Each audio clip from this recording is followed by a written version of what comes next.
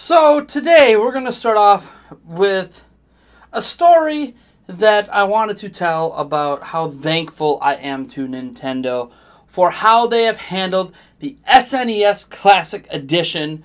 Uh, I've been critical of Nintendo's handling of the NES Classic Edition, and I was critical of the SNES Classic Edition's pre order issues. So, yes, Nintendo did it. They have fought back against scalping, fought back against their own underestimating of the market with the NES Classic, and they are providing more than ample supply of SNES Classics so far, and it looks like they have plans to continue to supply the, the chain of demand for months to come, which is excellent news. Thank you, Nintendo. You actually did something I didn't think you were going to do. I thought you were just doing a bunch of PR speak when Reggie Fils-Aimé came out and said, "Hey, look, we're going to massively, uh, re, you know, restock quicker, have more stock available, and provide a heck of a lot more stock and a heck of a lot more total units than they did for the NES Classic." Now, the NES Classic Edition worldwide, so combined sales were 2.5 million units.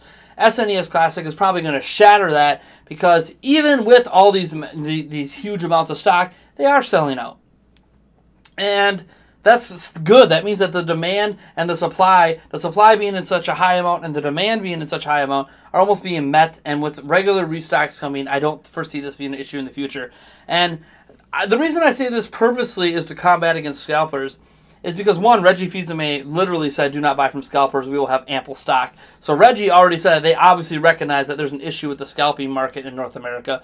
On top of that, uh, we have people like CND. Now, for those who don't know who CND is, he's Captain Nintendo, dude. He has his own YouTube channel. You guys probably know him more than my own channel. Uh, he's got a couple hundred thousand subscribers. He was the first person. I kind of blew up around the time that he was the first person to get a Nintendo Switch uh, officially in North America. Obviously, there were people that got it sooner, but you know what I mean. Like the official, if you're looking at world records, there's always like steps you have to go through. And he he got he was the first person in line at the Nintendo New York store. He waited a whole month out in line. Uh, he took over for Triforce Johnson, who currently owns a world record for the most uh, Nintendo first, you know, being the first person to get it in North America. But whatever it, it, was really cool. He seems like a good good guy, and he was out there for the SNES Classic. He did a 10 day early wait in New York at the Nintendo New York store, and things were going fine. He was first in line. Everything was going great, and they threw like this 90s party where 150 people uh, would get wristbands to go to this 90s party, and obviously those 150 people would be the ones allowed uh, to buy the SNES Classic Edition at midnight and everything seemed fine. Uh, they were supposed to come out and hand out wristbands. They announced they were going to come out early for wristbands. Uh, they're supposed to do it at 4, and they ended up at 2.15, and this happened.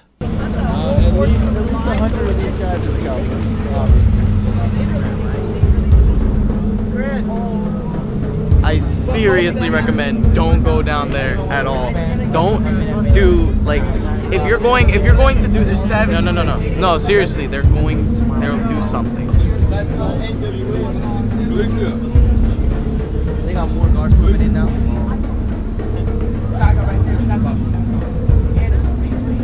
They're yelling. I hear yelling in there. Well, get in there, white boy. No, I'm scared. I don't want to be involved in that. I have my wristband. cops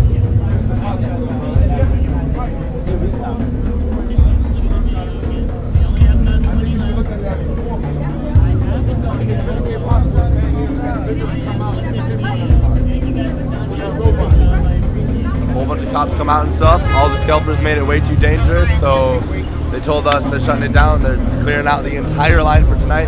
So PM, Nintendo New York tweeted out that the wristbands were going to be handed out at 2.15 instead of 4 because there was already so many people. That kind of threw everyone into a little bit of a frenzy, but they started handing them out. So obviously I got mine and about 60 other people got theirs as well. Then we get to my friend Jacob. He was in line. He got his and then things started to get a little spicy. Oh my God, Jacob, explain what happened. Boing. Okay, so I was around 50th in line, and about 10 to 20 spots behind me, just a bunch of people just cut the line as soon as they started giving out the wristbands. So after it got me 10 down, there was just yelling and all this stuff, and the managers giving out the wristbands were just like, no, can't do this anymore. We don't know who's supposed to be in line, and so they just went back into the store, and it was hectic. And I just left the situation to. I didn't want to be a part of that. At this point, managers are inside. They're not. They can't hand out any more wristbands. They don't know what is happening. A whole group of angry people, you know, some that cut the line, some that didn't, all swarm in right into the into the Nintendo store, right there. They're right in that in that um, area when you walk in. they literally start to surround the two managers.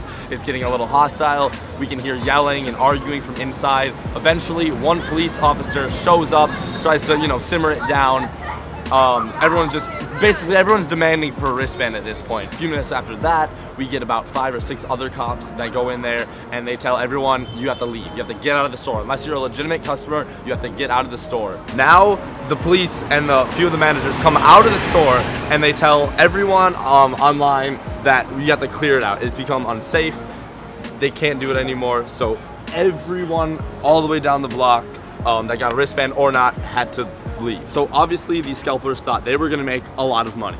But if they did any bit of research, they would have seen that Nintendo said multiple times, hopefully to get around the craziness, they will have them in stock. Reggie even said, yo, we're gonna have them in stock. Don't buy them off scalpers, you'll be fine. It is Saturday and they're still lining up. They are still selling them. They did it all day Friday, all day today Saturday. Who knows how long they're gonna keep doing it for. They have plenty in stock, all right? And I'm really hoping that is still the case because then these scalpers will not make any money off of them. So, for those wondering, uh, scalpers were really messing things up when it came to the line uh, to get the the SNES Classic Edition. They were uh, causing issues at the back of the line. They were trying to cut in line. Uh, they were even getting in the face of Nintendo employees about trying to get their hands on this thing, all because they were hoping to make all this money on it. And the market for it has quickly sank. Uh, initially, around 1205, 1210, I saw some postings of the SNES Classic Edition for as much as $300, and now we've rapidly seen those decline. Uh, I think the last posting I saw was around $100, $120 uh, which is not much of a markup, but trust me, don't dive in. The reason the prices are sinking is because there are so many of them out there. People don't need to buy from scalpers. Don't give these scalpers extra money. Save your money for Nintendo. Don't buy from scalpers until Nintendo's done making the system and you can't find it brand new anymore on store shelves. But right now, it's in plentiful stock, and I just, I, I'm so thrilled. Finally, Nintendo has done something about a stock situation uh, and done it correctly. Oh man, who thought this would happen? Years ago. Who thought this would happen after the NES Classic situation and the Amiibo situation and the Switch situation? Whoever thought that Nintendo would finally get it 100% right? now, for those wondering, no, I do not have an SNES Classic Edition. It's just kind of one of those things. I didn't have the money to get it, but it sounds like as long as I have the funds to get one sometime this holiday, I'm going to be able to pick one up. And I definitely want it because I want a legit copy of Star Fox 2. Uh, plus, right now I have no legal way to play my, uh, you know, what used to be my favorite game of all time. Currently, my second favorite game of all time, Secret of Mana. That's on the SNES Classic Edition. I can't wait to play that. Maybe do some live streams of it with you guys. Uh, I'm just so excited. I can't wait. Thank you so much, Nintendo. You did something extremely, extremely right. I have zero things to criticize with you about right now about your handling of the SNES Classic uh, Edition day one uh, and moving forward for right now. I, I'm so thrilled that Nintendo has recognized demand and are supplying demand and literally uh, is making comments and remarks improving it with their stock that they are trying to combat scalpers to make sure people don't need to pay premiums to get their products. Oh finally. Anyways, folks, like this video if you like it, dislike it if you do dislike it. I am Nathaniel Rumpfeljans from Nintendo Prime. As always, folks, if you want more videos like this, subscribe. If you would like to show some support for us, we are almost to our goal, our $100 stretch goal on Patreon. We are $3 at the time of recording.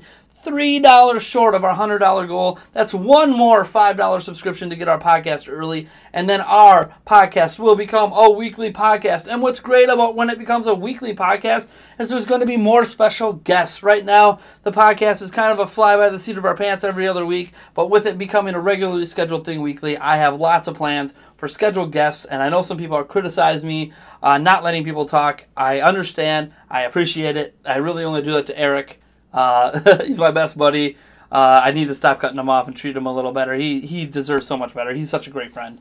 Um, and yeah, I, I definitely I want to get some more guests on and create some more uh, conversations around Nintendo. Because why not? You guys hear enough from me as is. All right, folks. I will catch you in the next one.